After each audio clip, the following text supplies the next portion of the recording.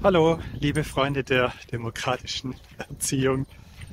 Ich habe ja schon erzählt, dass das Jugendamt Alb-Donau-Kreis bzw. das Landratsamt dahinter sich vor dem Verwaltungsgericht Sigmaringen seit zwei Jahren sträubt, die Akten zu meinem Fall rauszugeben.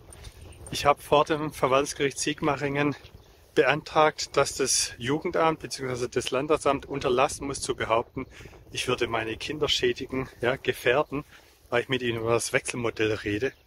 Äh, diese Gefährdung ist natürlich völliger Quatsch.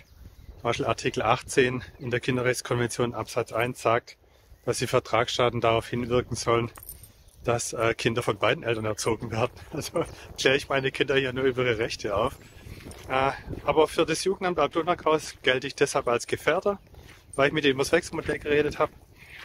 Und in dieser Unterlassungsklage, die jetzt schon seit zwei Jahren läuft, geben die vom Jugendamt einfach nicht die Akte raus. Und äh, ich habe ja schon erzählt, da haben sie jetzt beim Gericht angefragt, ob es denn okay ist, wenn sie nur einen Teil der Akte oder Geschwärz abgeben. Da hat das Gericht dann mehr oder weniger gesagt, müsst ihr selber entscheiden, ja. Aber jeder Jurist weiß, das geht nicht. Weil das Gericht muss ja Einblick in die komplette Akte haben. Rechtsstaatlich muss das Gericht wissen, was da drin steht. Äh, und das Jugendamt hat jetzt mitteilen lassen, oder hatte mit dem Gericht, Verwaltungsgericht mitgeteilt, dass es beim Sozialministerium von Baden-Württemberg eine Sperrerklärung einholen will.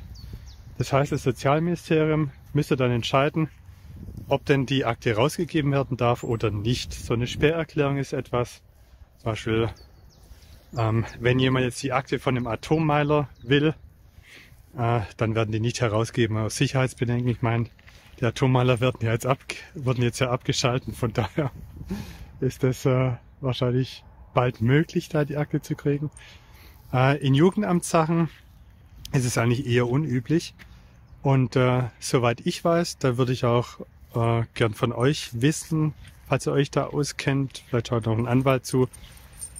Ähm, es geht ja um die Akten des Jugendamts zu dem Gerichtsverfahren.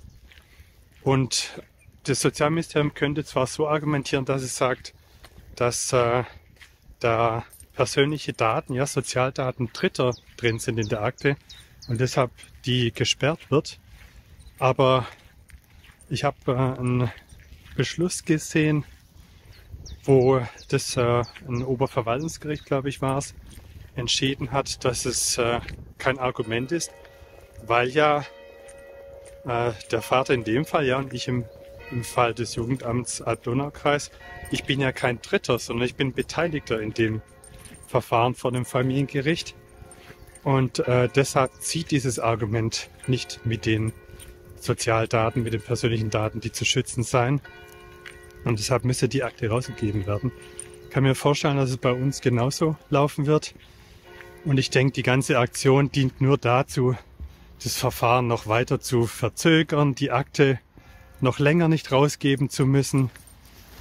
Mein, ja, meine Vermutung ist, das Sozialministerium wird dem Landrat Heiner Scheffold den Gefallen tun, dass die die Sperrerklärung machen, weil von dem her, was da drin steht bzw. nicht drin steht, kann man sehr gut ableiten, dass man mich mit meinen Kindern politisch erpresst, weil ich mit denen über das Wechselmodell rede.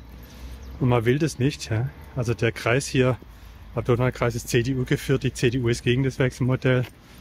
Meiner Ansicht nach versucht man hier seit jetzt schon vier Jahren mir drei meiner vier Kinder zu entziehen, weil ich eine Meinung habe, die der CDU nicht gefällt hier im Kreis. Und äh, das kann man halt aus der Akte, ich denke, sehr gut herauslesen. Vor allem wegen dem, was nicht drin steht. Ja. Es wird da keine Tatsachen geben, keine Anhaltspunkte, dass äh, da eine Gefährdung besteht, kann auch gar nicht sein. Völliger Blödsinn.